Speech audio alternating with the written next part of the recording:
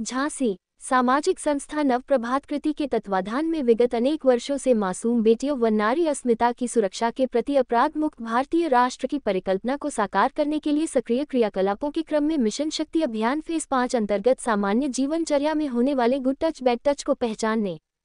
अपराध एवं अपराधी की मंशा को समझाते हुए परिवार के सदस्यों के मध्य स्नेह, प्रेम, विश्वास का सामंजस्य स्थापित करने के उद्देश्य से अनवरत रूप से संचालित आत्मरक्षा प्रशिक्षण शिविरों की श्रृंखला में महिला हेल्पलाइन वेदना एक दर्द झांसी की महिला सदस्यों द्वारा एवं जिला प्रशासन झांसी।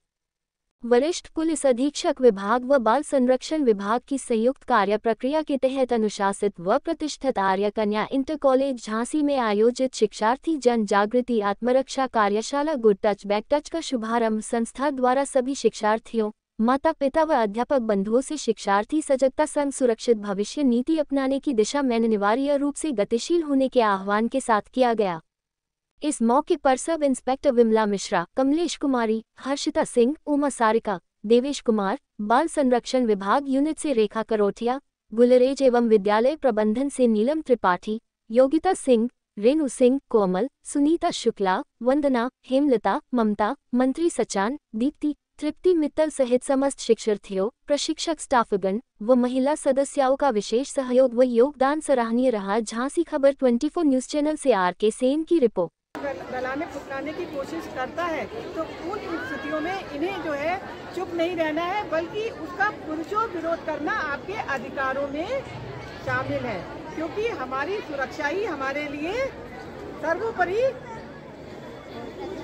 हाँ सर्वोपरि होती है। और जैसा कि ये भी आज का कटु सत्य है, सर, कि हमारे आसपास जो गलत इंसान हैं, जो विकृत मानसिकता के लोग हैं, वो एक या दो नहीं है, बल्कि बहुत सारे हैं। और ये इसके लिए समाज के हर मासूम बच्ची को अपनी स्वास्थ्य सुरक्षा के लिए जागरूक होना ही होगा, निडर होना ही होगा, क्योंकि यही एकमात्र स्थायी समाधान है इनकी सुरक्षा का, इनकी खुशहाली का। इसलिए मुझे तो बहुत ही अच्छा लगा आज का प्रोग्राम और कम से कम आप लोगों ने आकर के बच्चों को जागरूक किया कि कैसे वो अपनी सुरक्षा कर सकें। बेशक बिल्कुल सही बात है कि बच्चे स्पेशली जब लड़कियाँ और चाइल्ड गर्ल जो होती हैं, इन समस्याओं से जूझती हैं तो वो किसी से नहीं बोल पाते हैं अपनी बात। और उनके अंदर ये भय रहता है। तो आप लोगों ने आज आकर ये क्लियर कर दिया कि उनको भयभीत नहीं होना चाहिए और कैसे अपनी बात को रखना चाहिए और कैसे उनको कहना चाहिए और अपनी समस्या से निजात पाना चाहिए। हमारे विद्यालय में आज जो प्रोग्राम हुआ है बैड टच वाला, वो बेहद ही छात्राओं के लिए लाभदायक रहा है। इससे बच्चों को अपनी सुरक्षा के बारे में पता चला है। मुझे तो बड़ी खुशी है कि आज नव प्रवास संस्था ने ये प्रोग्राम हमारे विद्यालय में किया बहुत अच्छा प्रोग्राम नव भारत प्रभात, नव प्रभात प्रति संस्थान द्वारा, जिसमें हमारे बच्चों को गुड बैड टच की अवेयर किया गया है, बच्चों को जागरूक किया गया है, जो बच्चों के फ्यूचर के लिए बहुत लाभदायक है। नारी शक्ति यहाँ पर बैठी हुई है, जिनकी उज्जवल भावनाएँ हम सभी को आज आगे आने के लिए प्रोत्साहित करती हैं।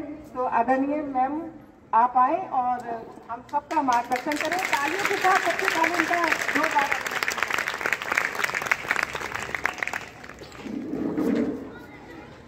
एक बार और जोरदार तालियों से अभिनंदन। बच्चों, जैसा हमारी मैम ने बताया बैठ कर और ये गुड टच के बारे में। तो आपको हम बता रहे हैं कि जो अगर आपके साथ में कोई बैड टच की ऐसी हरकत स्कूल आते जाते पे या कोई करता है, या सवारी में, साधन में जाने में करता है तो आप one zero one nine zero nine पे कार कर सकते हैं। ठीक है? दस नब्बे पे कॉल कर सकते हैं।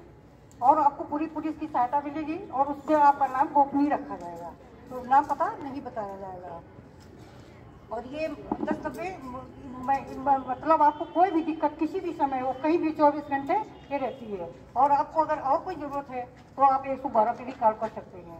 एक सौ बारह पे कॉल करने के लिए आप, आपको अपना नाम पता बताना पड़ेगा। इसे, आपको जो भी समस्या हो, पुलिस से चौबीस घंटे की आपको हेल्प मिलेगी।